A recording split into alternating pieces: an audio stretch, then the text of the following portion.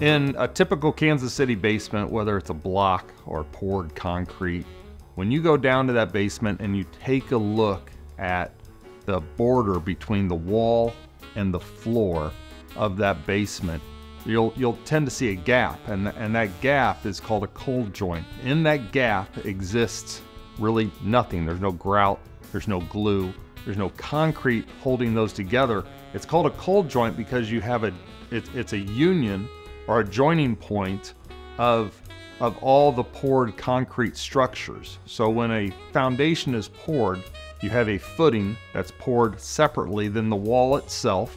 The wall sits on the footing, and so does the floor, the slab floor. They all meet and rest on that footing. In that junction where they all meet is considered the cold joint. Now, from on top of the basement floor, you see a shadow or you see a gap there. And over time, what happens, what we see here in Kansas City, because of the seasonal changes, because of the clay that's in our soil, and when clay gets wet, it tends to expand. When it gets dry, it contracts, and now that produces different pressures are during different times of the year for our Kansas City homes.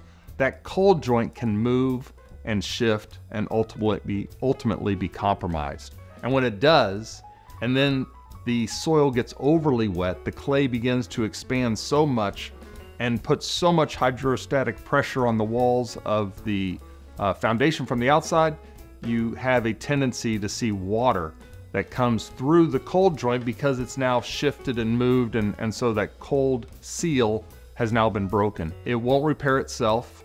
That seal that got broken, that is now a least path of resistance for the water, is going to stay as a least path of resistance. So for us at KC Pier, we have remedies for cold joint movement or cold joint penetration or infiltration of water. There's multiple ways to repair cold joint water. Uh, we have interior drains, we have exterior drains, all have different pricing points, all come with different levels of warranty on them, but they're all very repairable. The question we get a lot of times with homeowners is they just don't know where the water's coming from. They're, they're looking for a crack. They're looking for something that's obvious. And a cold joint will look like a cold joint. It'll just look like a gap. You can't tell because the movement has been so slight that, that the water is just simply kind of showing up from a homeowner's perspective.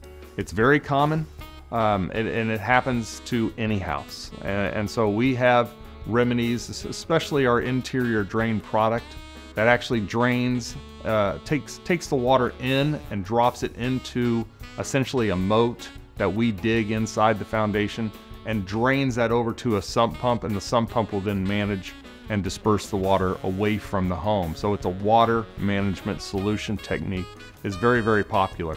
In more severe cases, we can do an exterior uh, waterproofing as well, but that comes with a, a much higher expense.